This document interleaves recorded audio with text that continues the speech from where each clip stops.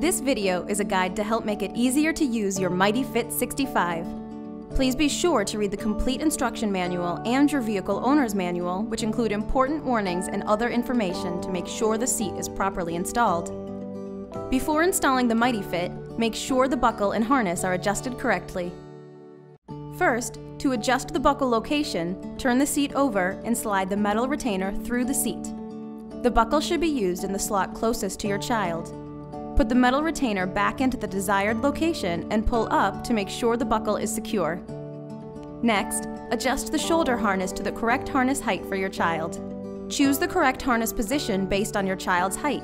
When installing forward facing, the shoulder harness height must be at or just above your child's shoulders. First, move the headrest to the highest position by squeezing the headrest adjustment bar on the back of the seat towards you and pulling up.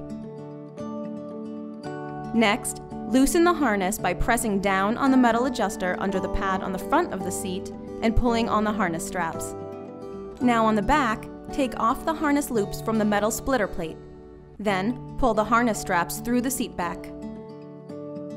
Rethread the harness straps through the seat back, keeping the belts flat and untwisted. Then, reattach the harness belt loops to the splitter plate, making sure they are all the way on. Finally, adjust the headrest to position it behind the child's head. Make sure the metal bar is locked and above the harness straps. Now, rotate the recline stand out and push upward to lock it in. Before installing the MightyFit in your car, read your vehicle owner's manual. This contains important warnings and information to make sure the seat is properly installed. Place the car seat in the back seat of your vehicle, making it flush with the vehicle seat. Loosely attach the tether. Now, route the vehicle belt through the forward-facing belt path. Take care not to twist the belt. Buckle the vehicle belt.